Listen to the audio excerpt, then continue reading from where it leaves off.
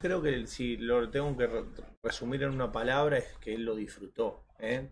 porque porque eso es lo que lo que creo que tenía que hacer, lo hizo de la mejor manera, disfrutar eh, de jugar eh, el mundial y disfrutar de jugar al fútbol, que es lo que él mejor sabe hacer y es lo que lo que se va a llevar en, el corazón, porque el día que no, no pueda jugar más, este va a costar, va a costar asimilarlo a todo. Entonces tiene, tiene que disfrutar. Y lo disfrutó hasta en los momentos difíciles cuando perdimos en Arabia. Eh, eh, al segundo día fue el primero que se levantó, fue el primero que, tiró el grupo. Y, y, eso habla mucho, habla mucho de que, de que lo, lo, disfrutó. Más allá de que, de que puede hacer su último mundial o le quede uno o no. Eso son cosas que yo le dije, sacátela de la cabeza vos, disfruta, disfruta de cada partido que tengas jugar con la selección.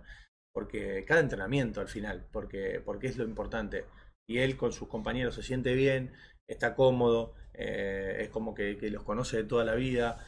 Estaba en todo momento disfrutando, así sea el minuto 118, 117, como, como parecía que tenía energía siempre. Sí, sí, sí, ¿De, dónde, la sacaba la, energía? Del entusiasmo, del, del, disfrute. A lo mejor oh. eh, cuando vos no disfrutás, cuando todo te pesa más, eh, piernas pesan también y te piden un cambio. Y él lo disfrutó como, como el que más. Y eso a mí es lo que más me, me llena de orgullo